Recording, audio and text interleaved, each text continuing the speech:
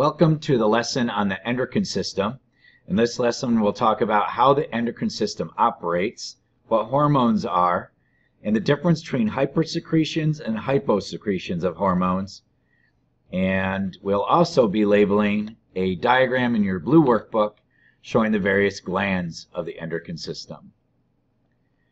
So imagine if you were riding an exercise bike which keeps track of your heart rate and the number of times you pedal per minute. Suppose you tried to keep your heart rate equal to your pedaling rate. What would happen? Well, as your heart rate rises, your pedaling rate would have to go up. Both would continue to rise until you either gave up or passed out. So what would be a smarter way to do it? Watch your heart rate. If it gets too high, slow down your pedaling rate.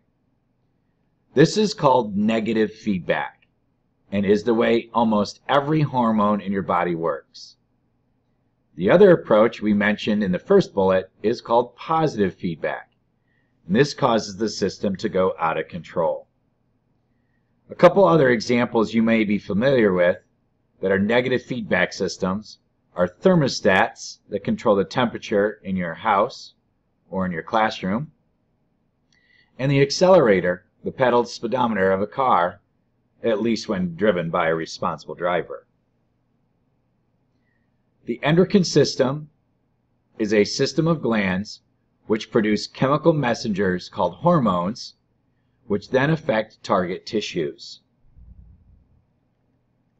Hormones regulate metabolism, growth, and reproduction. Disorders of the endocrine system are either hypersecretions, which means producing too much of a hormone, or hyposecretions, producing too little of a hormone. Hypersecretions are more difficult to treat than hyposecretions, as it's easier to add missing hormone than it is to take out an excess hormone. However, dosages and hyposecretions can be difficult to manage, as hormones are usually present in extremely small quantities anyway. The entire secretion of the pituitary gland, for example, over a person's life in the form of pure actual purified hormone would amount to about a teaspoonful to give you perspective on how small the quantities are um, of hormones that are present in your body. Okay, next let's take a look at this diagram that's in your blue book. If you don't have your blue book, go grab it real quick. Pause the video and come right back and we're going to label these glands of the endocrine system. We start with number one, which is called the pineal gland. Obviously located in the center of your brain. On the underside of your brain, we have a gland called the hypothalamus. Now, I think we labeled that in our brain diagram in the nervous system unit earlier. Right below the hypothalamus is the pituitary gland. Number four is your thyroid gland, located in your throat. Number five are the parathyroid glands. You can see the little dots there on the um, on the thyroid gland itself. By the way, in case you haven't figured this out, diagram on the left is the female, the diagram on the right is the male. Number six is the thymus. We talked about that gland earlier in the course.